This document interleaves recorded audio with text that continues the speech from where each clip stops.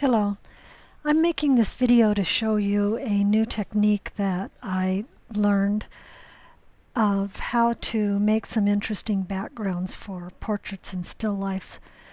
And uh, for this you want to work with uh, importing some Photoshop brushes. So just go to your menu under brushes and choose new from Photoshop brush stamps.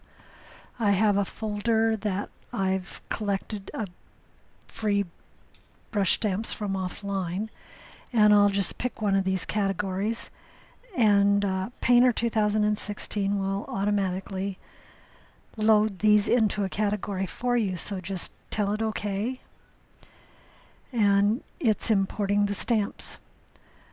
So once they're imported, I think of them in terms more of a stamp than a brush, and I'll show you why. Um, when I pick this first one, and I'll pick a darker color, when you click your brush down, you get the outline of a paint daub. But when you go to paint with it, it's not that attractive of a stroke. So clear this off. Uh, I'll clear this off and show you a trick to work with that paint daub. So I've still got that same brush loaded, but I'm going to go up here to my stroke jitter and set it to around 1, oh, 102, 1, 1.02 or 1.04. Then I'm going to go to my color variability on that brush and set it to from color set. So it'll be picking up colors from whichever color set I choose.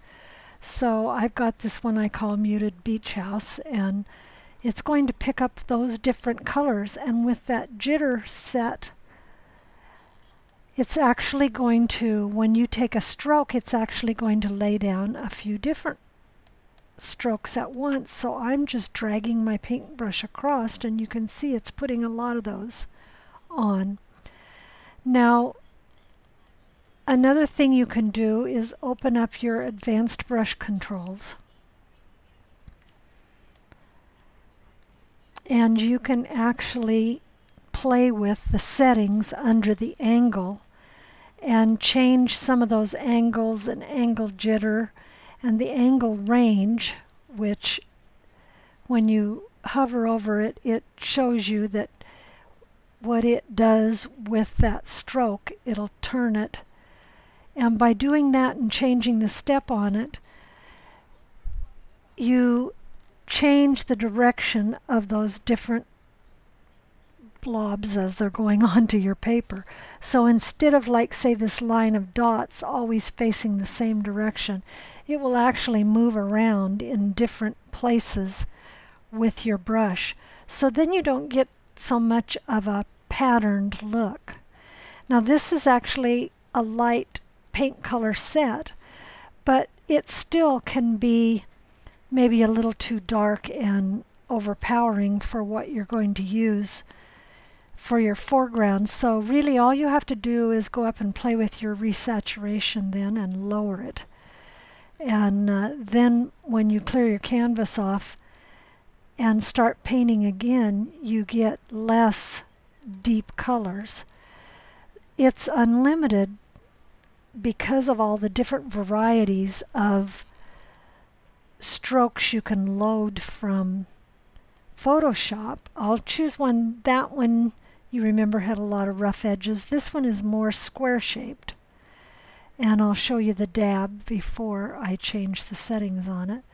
Well, it looked square in the thing, but it's it's got a different shape to it um, there we'll take this second one because it's a little different from what I first started with. Then you go back through, change your color variability, change your stroke jitter,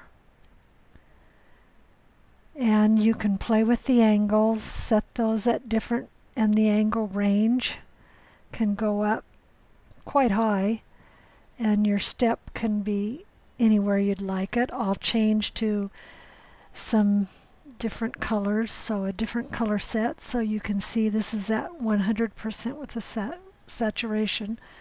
So even though it's pastel colors, it's coming in pretty dark because of that resaturation set so high. So now if you go down and lower that, you'll see the difference you can get in a background down below. You can get some cloudy, and of course there's so much you can do with blender brushes and everything to change these even more. But you can see the possibilities um, with playing with Photoshop brushes inside of your Painter 2016. Play with your jitter, your resaturation, and choose colors from color sets. I think you'll you'll have a lot of fun just discovering different looks you can get from different brushes using different colors in and the stroke patterns using different uh, saturations and different amounts of jitter on your brush. So I hope this has been helpful in showing you some ways you can play with brushes to create new backgrounds for paintings and still lifes.